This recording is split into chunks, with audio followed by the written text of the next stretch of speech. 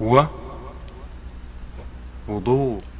Assalamu alaikum, peace be unto you. Welcome to the Deen Show. Today we're covering how to make ablution, which is preparing yourself for prayer by cleaning yourself before you pray. This is very important as the creator of the heavens and the earth, your creator, my creator, has stated in his last and final book, the Quran which has been unchanged for 1400 years. Note that ablution is also in the Bible. Moses and Jesus, and we believe all the messengers of God before they approach God to pray to Him, they clean themselves. Remember that the prophet, last and final messenger, peace be upon him, said the key to paradise is prayer, and the key to prayer is cleanliness. So after one uses the toilet, that one should clean himself from filth on his body or on his clothes before he approaches the prayer. So now let's start. It's very simple. We'll have some fun teaching you here. The intention is important. What we mean is clearing the heart and the mind and focusing purely on perfecting the ablution in order to please who? Your creator. Yes, you got it. Saying Bismillah in the name of God. We start everything, including the purification, washing the hands. You've all done it before. If not, we'll show you right here. See how he gets in between his fingers. Starts with the right, then the left.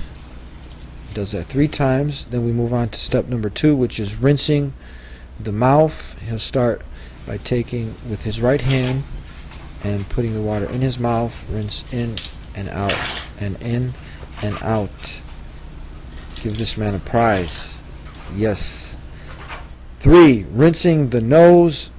Note that he will start with his right hand as the Prophet, peace be upon him, did, and with his left hand he will blow out. So right hand in to the nostrils, left hand out. He's quite good. Part four, washing the face. Everyone has done this, I'm sure, early in the morning, but we do this five times a day. This doesn't need much explanation. If you need to rewind on any of these, please feel free to do so. Washing the beard. Prophet, peace be upon him, would run his fingers through his beard. Number six is washing the forearms, starting with the right. You will let the water drip down towards your elbow, and then you'll move over to the left, just like so. Wiping the head along with the ears, you will use your two index fingers, and your thumb will clean behind the ear, just like he did.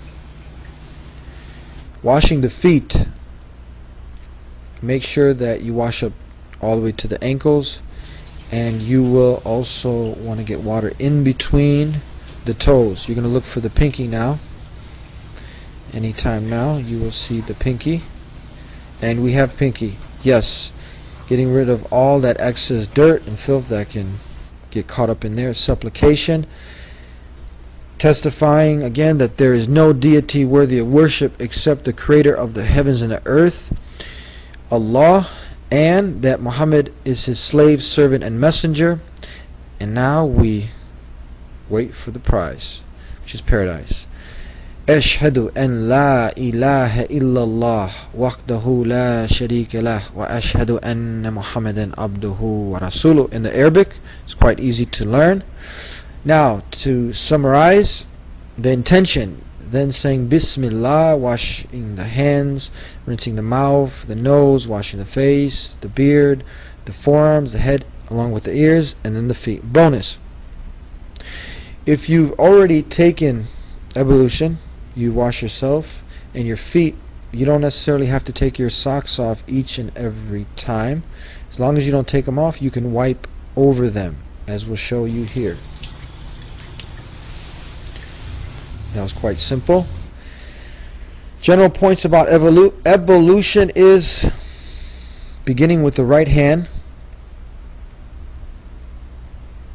washing each part as the Prophet, peace be upon him, did once, twice, or three times, except for the head, which he did once.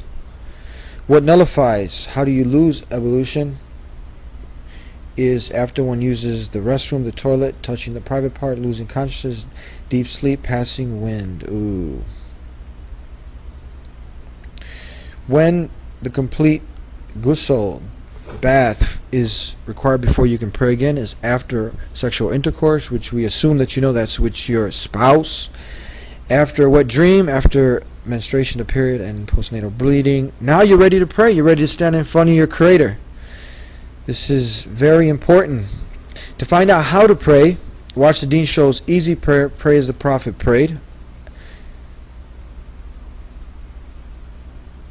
We hope that you enjoyed learning as we enjoyed teaching. Oops, there's one more thing. Check this out. This is very important. Some key notes here. Everything that Allah prescribes has a wisdom behind it. The medical world is continuously discovering amazing medical benefits from performing the prayer ablution. When a Muslim performs his five daily prayer, he is taking preventative measures against many diseases and illnesses of the body. I am not going to go on and read everything for you. I'm going to let you guys take it from here because I myself have to cut out and make ablution and pray this mid-afternoon prayer which is called Asr. Thank you so much for tuning in to the Deen Show. We'll have a new show, God willing, inshallah, every week. Please tune in again. Assalamu alaikum. Peace be unto you.